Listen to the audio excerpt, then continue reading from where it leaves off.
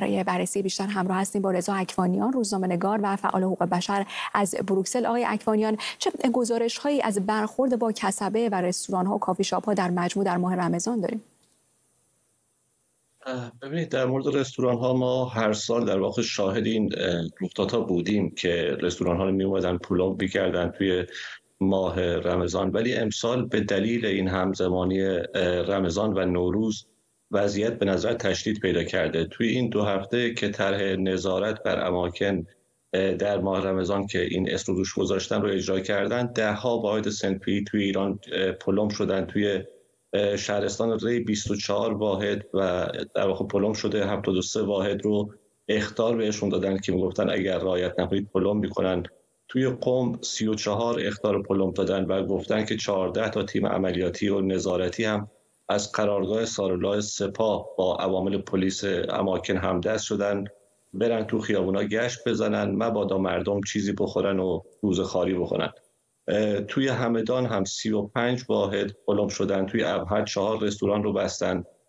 توی دسفول 15 تا اغذیه فروشی و رستوران رو و توی جهروم هم دو تا کافی شاپ و کاپتریا رو در واقع پلم کردن. یک لنج مسافربری نورو... مسافر نوروزی هم بودش که شما اشاره کردید توی ساحل بوشهر توقیف شده بود و یه نکته هم اینجا مهم بود که من بهش اشاره بکنم. فرمانده مرزبانی بوشهر اینجا گفته که هنجارهای اسلامی رو رعایت نکرده بودن و به نوعی مردم رو تهدید کرده بود که باهاشون برخورد میشه. کافه تهرون کیش رو هم که گفتم پلم کردن ولی اونجا گفته بودن که زنان و مردان توش مختلف رقص و طبق تعریف خودشون اونها رو برهنه خطاب کرده بودن گفتن اونها برهنه بودن. اونم به خاطر صرفا نداشتن روسری توسط بعضی از افراد. چیزی که خب از زمان آغاز خیزش بیشتر شده با دیدیم و نشون میده سیاست های سرکوبگرانه جمهوری اسلامی علیه مردم داره بیشتر میشه و کسب و کارهایی که مقابل این سیاست ناقض حق حقوق مردم مقاومت می‌کنن هم با مجازات سنگین در واقع مواجه میشن. اما آیا امکان اعتراض و شکایت برای کسایی که کسب و کارشون با این اقدام ها مختل شده وجود داره؟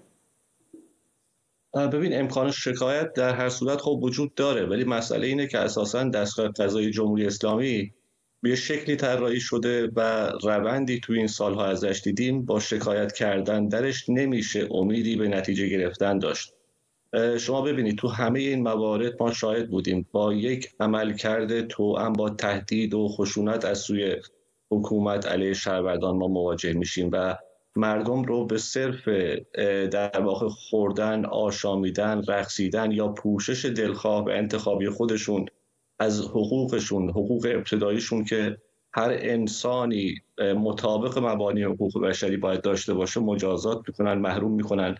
الان هر سال خب هزاران واحد سنفی رو به دلیل سرو غذا بر به قول خودشون روز خالی تو ماه رمضان پلم می‌کنند.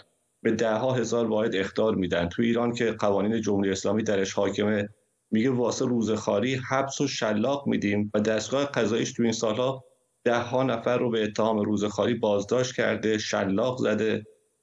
در واقع میشه شکایت کرد. ولی نمیشه امیدی داشت به عدالت توی دستگاه قضایی و اجرای عدالت. چون ما سالهای ساله که مرگ عدالت رو توی این سیستم در واقع دیدیم. متشکرم از توضیحاتتون. رضا اکوانیان روزنامه نگار و فعال حقوق بشر از بروکسل.